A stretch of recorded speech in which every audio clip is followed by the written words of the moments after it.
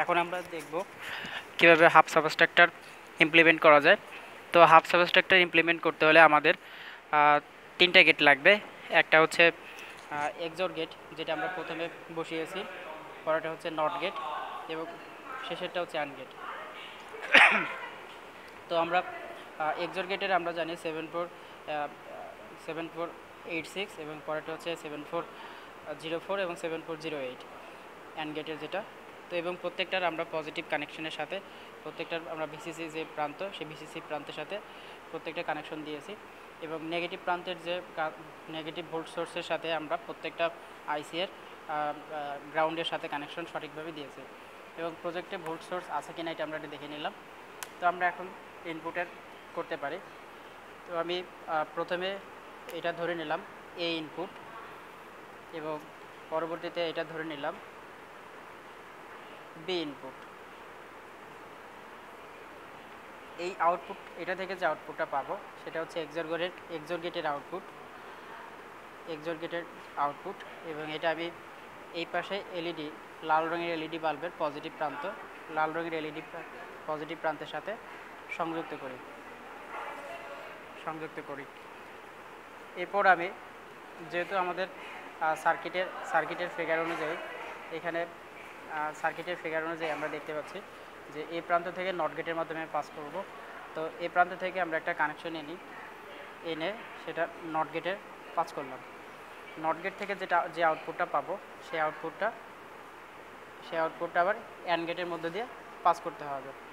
তো অ্যান্ড গেটের বি অর্থাৎ নেক্সট পরেরটা দিয়ে আমরা পিন পরের পিন দিয়ে আমরা পাস করলাম এবং এ এবং বি থেকে যেটা পাবে বি থেকে যেটা আসবে, সেটা হচ্ছে বি থেকে যেটা বি থেকে যেটা আসবে, সেটাকে আমরা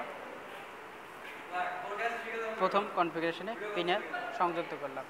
এবং এটা থেকে যে আউটপুটটা পাবো, সেই আউটপুটটা হচ্ছে আমরা এই হলুদ রঙের এলইডির পজিটিভ প্রান্তের সাথে সংযুক্ত করি।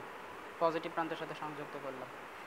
এখন বর্তনী পূর্ণ করার জন্য আমরা নেগেটিভ প্রান্ত থেকে নেগেটিভ নেগেটিভ প্রান্ত থেকে নেগেটিভ ভোল্টসের ভোল্ট সোর্স প্রান্ত থেকে এলইডির নেগেটিভ প্রান্তের সাথে সংযুক্ত করলাম। অপর থেকে আমরা এখান থেকে ঠিক একইভাবে নেগেটিভ ভোল্ট সোর্স থেকে আর একটা নেগেটিভ কানেকশন সংযুক্ত করলাম। তো আমরা এখন ইনপুট দেখব। ইনপুটের আগে ট্রুথ টেবিল একটু দেখে নিই যে সবগুলো জিরো হলে, সবগুলো ইনপুট জিরো হলে সেক্ষেত্রে আউটপুট ওয়াই এবং জেড দুটোই জিরো হবে। অর্থাৎ এলইডিটা জ্বলবে না। আবার প্রথমটা জিরো অর্থাৎ প্রথমটা নেগেটিভ ভোল্ট সোর্সে এবং পরেরটা পজিটিভ ভোল্ট সোর্সে থাকলে উভয় এলইডি জ্বলে উঠবে। এবং পরের ক্ষেত্রে এ ইনপুটে ওয়ান এবং পরের বি ইনপুটে জিরো অর্থাৎ নেগেটিভ ভোল্ট সোর্স থাকলে সেক্ষেত্রে ওয়াইটা অর্থাৎ এলইডি অ্যান্ড গেটের যে এলইডিটা হলুদ রঙের যে এলইডিটা আমরা এখানে নিয়েছি, সেটা, সে এলইডির যেটা নিয়েছি, সেটা জ্বলে উঠবে। তো আমরা দেখি এখন কি আসে। তো তো আমরা এখন ইনপুট নেব।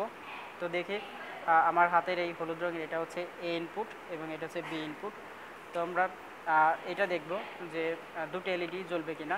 সেক্ষেত্রে এ ইনপুট যেটা এ ইনপুট যেটা, এটাকে আমরা নেগেটিভ প্রান্তে এবং বিটা বিটাকে আমরা পজিটিভ প্রান্তে সংযুক্ত করব। একে আমরা নেগেটিভ প্রান্তে সংযুক্ত করলাম এবং বিকে আমরা পজিটিভ প্রান্তে সংযুক্ত করলাম। তো আমরা এখন ভোল্ট ভোল্টেজ ভোল্টেজ কানেকশনটা অন করলে দেখতে পাচ্ছি দুটো এলইডি দুটো এলইডি জ্বলে উঠছে। এবং এক্ষেত্রে ট্রুথ টেবিলের এই যে শর্তটা, এটা ট্রুথ টেবিলের এই শর্তটা মেনে চলল। অর্থাৎ এ এ প্রান্তটা জিরো এবং বি প্রান্ত অন অর্থাৎ পজিটিভ ভোল্ট হলে সেক্ষেত্রে দুটোই জ্বলে উঠবে। তো আবার আমরা দেখতে পারি, আরেকটা যদি আমরা দেখি, যে এটাকে পজিটিভে এবং বিটাকে নেগেটিভে নিলে সেক্ষেত্রে ওয়াই জ্বলবে। ওয়াই অর্থাৎ এক্সোর গেটের যে এলইডিটা লাল রঙের যে এলইডিটা এটা জ্বলে উঠবে। তো আমরা এটা একটু দেখি যে একে আমরা নেগেটিভ একে আমরা হচ্ছে পজিটিভ প্রান্তে নেব। তাহলে আমার হাতের এটা হচ্ছে পজিটিভ প্রান্তে যাবে। এটা পজিটিভ প্রান্তে যাবে এবং এটা হচ্ছে নেগেটিভ প্রান্তে আসবে। এটাকে নেগেটিভ প্রান্তে সংযুক্ত করলাম এবং এটাকে পজিটিভ প্রান্তে সংযুক্ত করলাম। সো আমরা এখন যদি ইয়া করি ভোল্টেজ অন করি, সেক্ষেত্রে দেখতে পাচ্ছি আমরা লাল এলইডিটা জ্বলে উঠছে, কিন্তু হলুদ যে এলইডিটা এটা জ্বলে ওঠেনি। সুতরাং আমরা আমাদের যে হাফ সাবস্ট্রাক্টর এটা ইমপ্লিমেন্টেড কমপ্লিট